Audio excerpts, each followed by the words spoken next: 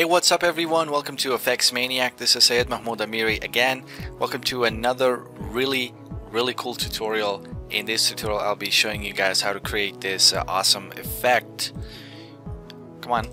Uh, using um, 3ds Max Premiere Pro Tyflow and V-Ray. Alright just the Premiere Pro is just for the preview purposes nothing else. Right you can you can edit it but yeah.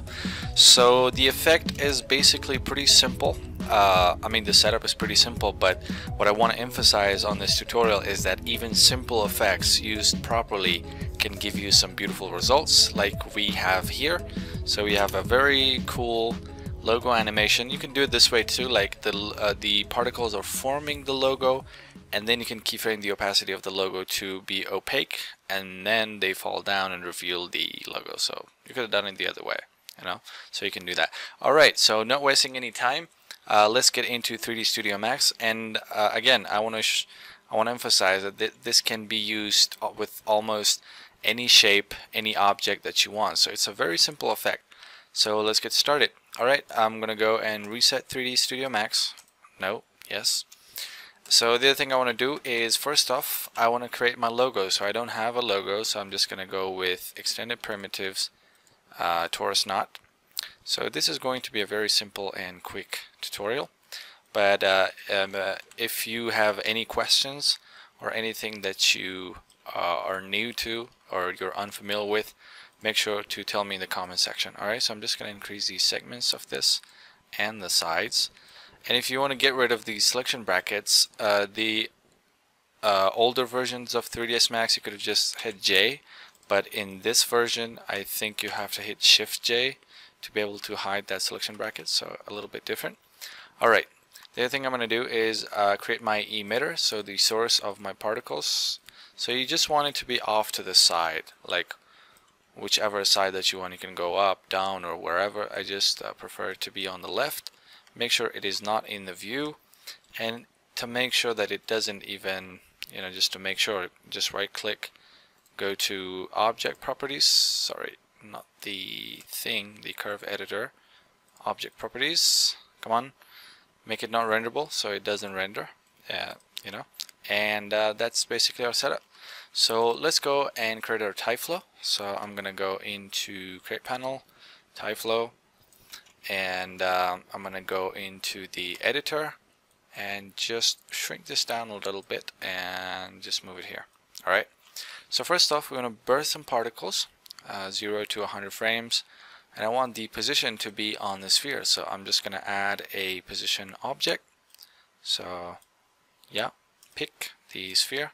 So now we have our particles getting born on the sphere. Alright?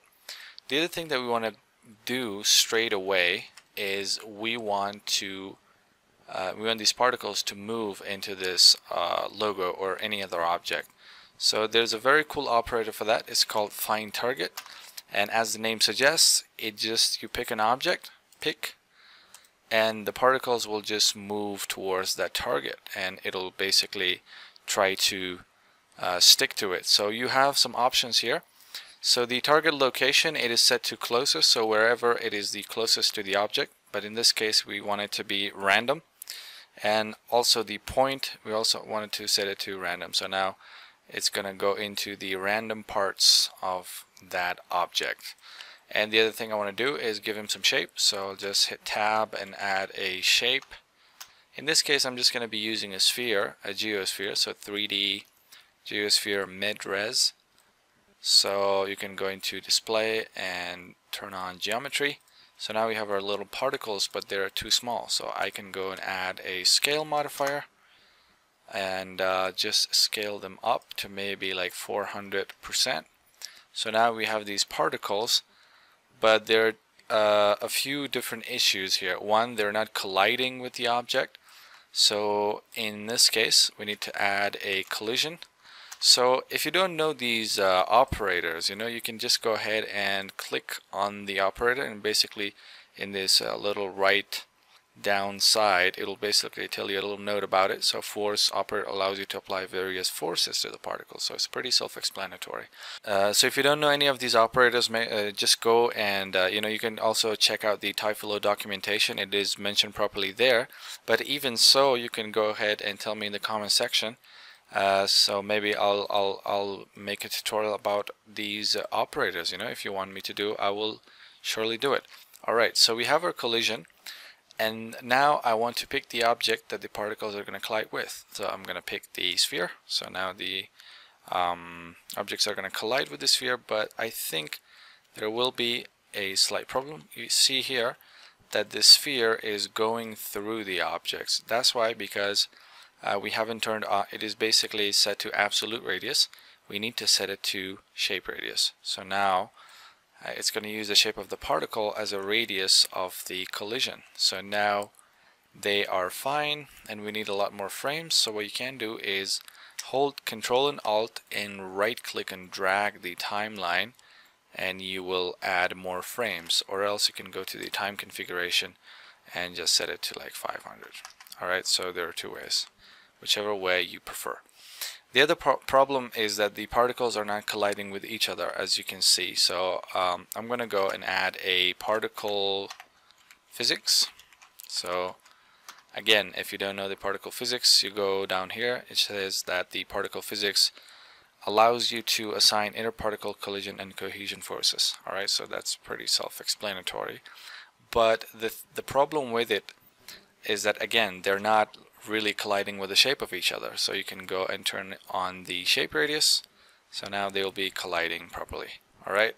So now you can see that the first part of our animation is done, you know, and it's been already like uh, three to four minutes and we've created this beautiful little animation. So you can go ahead into the birth and increase the number of particles to maybe 500 and now you'll get a lot more particles sort of, you know, in the logo. So these can be anything. This this logo can be a human, and these particles can be like bees and flies and everything. So the, the possibilities are just endless. But in this case, I just want to show you guys this one. And of course, you can go into the scale and randomize the scale. So you'll have different size particles and turn on uniform, of course, so that they will be uniform. So now you have different sized particles, which will make it look a little bit better. Alright, so the next thing is, I'm just going to move this object up because I want them to fall into the ground. So the next thing is, I want these particles, uh, it's about frame 180 or 200 that they settle down completely in the object. And after frame 200, I want them to fall down. So what you can do is you can go ahead and add a time test. And the test is basically saying if this thing is true, then do move to another event. So it's basically a test. So I'm saying if the frame number is greater than 200, then I want them to move to another event. So in other event, I'm just going to click tab, hit tab, and go into particle, not the particle, but we want the physics shape operator. So what the physics shape is going to do is they're just going to uh, make sure that the particles are colliding with each other and they're falling down and colliding with the floor as well alright and the other thing you want to make sure is inside the time configuration that the real time is off so that it basically calculates every single frame. So now you can see we've got our basic effect and uh, it is looking pretty cool. So I'm just gonna copy this display and paste it here so that they are the same all over. And that is basically it I would say you know? Uh, some other things that you can do is maybe it's a little you know they just fall down a little too soon so you can go ahead and change this to maybe 240 so now uh, until to frame 240 they're not going to do anything and after frame 240 they're going to start falling down. Alright um, yeah so that's that's basically it. And the other thing you can do in, to improve the quality of the simulation you can go into Tyflow and increase the number of steps per frame. So it is just basically going to uh, improve uh, the calculation of Tyflow and hence improve the quality of the simulation. And the other thing you can do as well is go into the physics and increase the simulation substeps to maybe 12 so mm, the substeps is basically going to increase the quality of objects interacting with each other and with other objects. Alright so it's going to make it a lot more better. So now we've got our, our animation. And now uh, very quickly onto the rendering part. So uh, let's just create a plane. So I'm going to control right click and add a plane and make sure that it doesn't have any segments. So right click right click. Right click convert it to editable poly and I'm just going to take this edge and just shift drag like that and just move it up. So I just want to create like a seamless background. And uh, I do want to scale this and take this edge and move it in. And the other thing I want to do is take this edge and move it up so that we don't see it once we sort of zoom in. So I'm just gonna add a turbo smooth modifier to make it very smooth.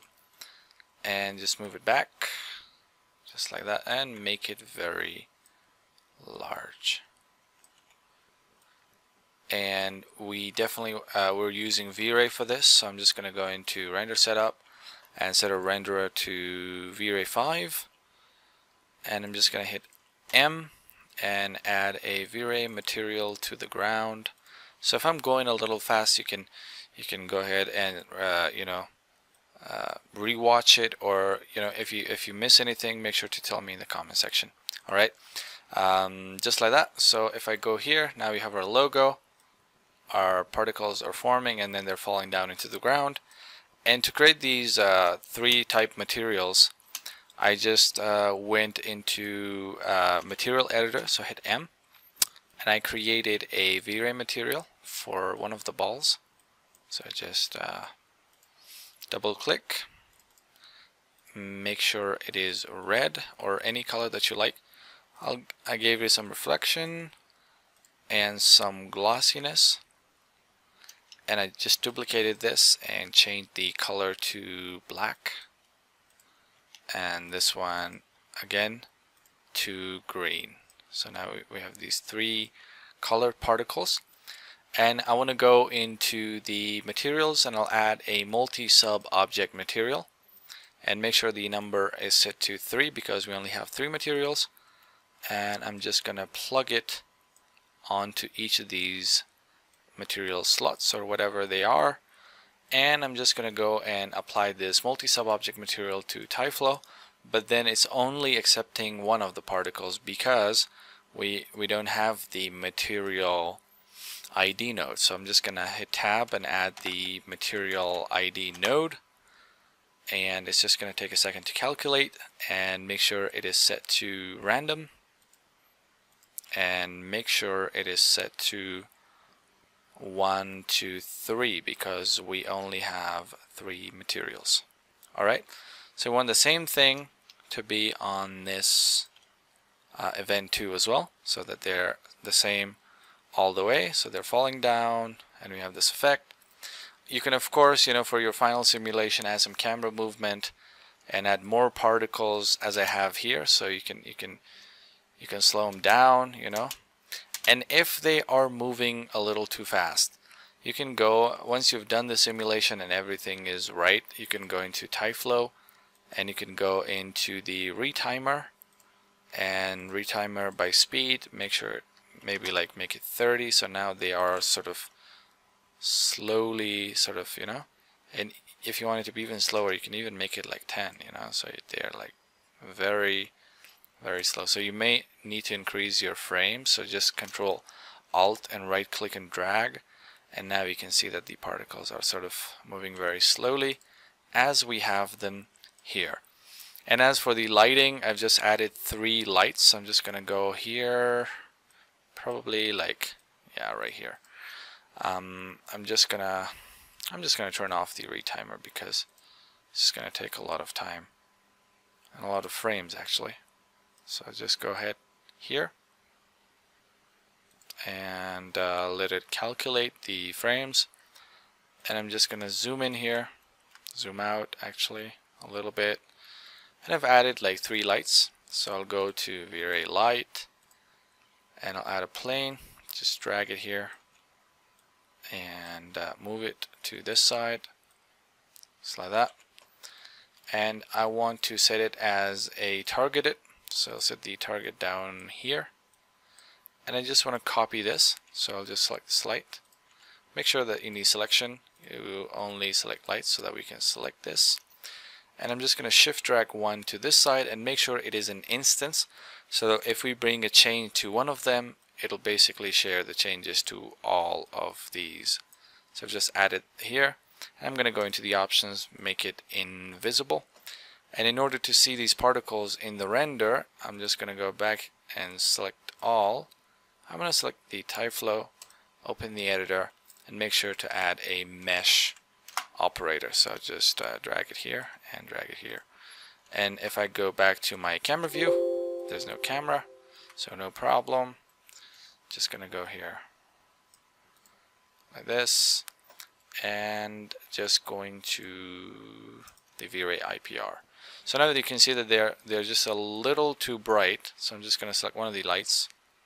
The light select it make sure it is like what 10 or 8 you know so now they're like perfectly fine. So now from now onwards you can go ahead and play with the lighting with the shaders with the camera animation and the material of your logo and everything to get this uh, perfect effect and perfect lighting that you're looking for and I just added a little optical flares in After Effects and that is basically it.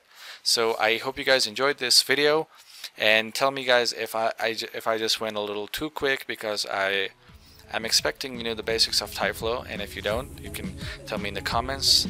I can make a uh, you know beginners tutorial inside of Tyflow so you can go ahead and tell me in the comment section for this tutorial.